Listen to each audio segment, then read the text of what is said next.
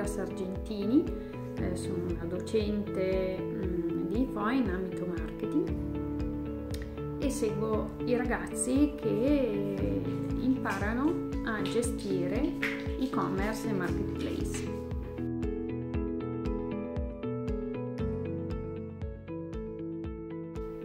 Bene, in questo momento di crisi ehm, c'è stato un forte incremento eh, pari a ben l'81% in più nella prima settimana di criticità rispetto agli acquisti online effettuati prima della chiusura totale dei negozi. Questo che cosa ci porta a uh, dedurre? Che mh, mm, l'interesse per gli acquisti online in questo momento sta avendo un picco e chi ne mh, mm, giova di questa situazione?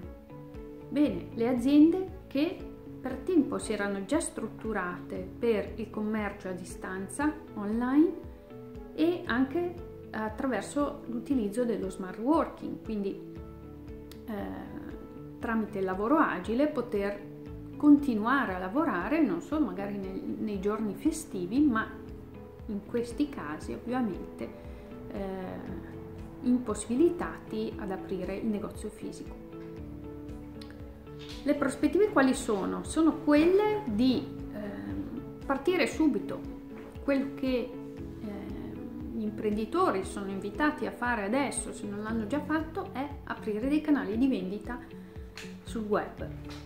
Il commercio elettronico eh, dà la possibilità di continuare a superare quelle che sono le esigenze magari dei vostri clienti eh, in questo momento.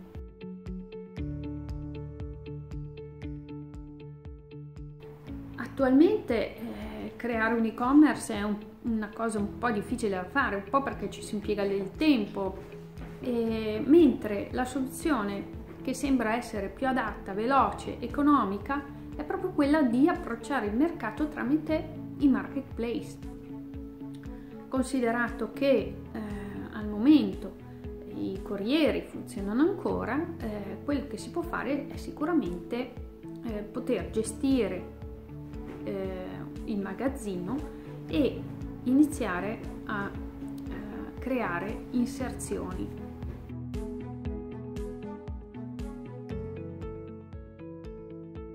Bene, è proprio in questo caso che IFOA da anni mm, sta formando professionalità legate al commercio elettronico, alla digitalizzazione.